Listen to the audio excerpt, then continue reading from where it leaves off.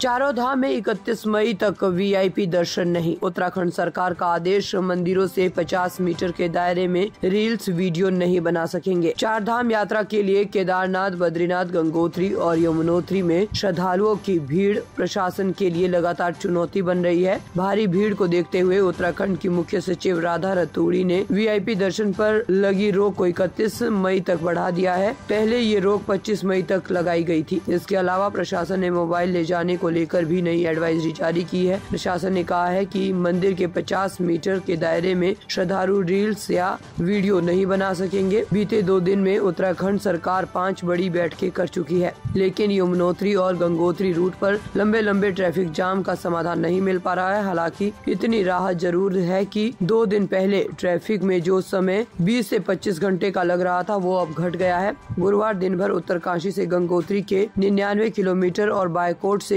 यमुनोत्री के 46 kilometre root पर करीब 3000 गाड़ियाँ 12 से 15 घंटे इंतज़ार कर ट्रैफ़िक में रेंगती रही। सबसे ज़्यादा समस्या यमुनोत्री हाईवे पर पालीगाड़ के पास बनी हुई है।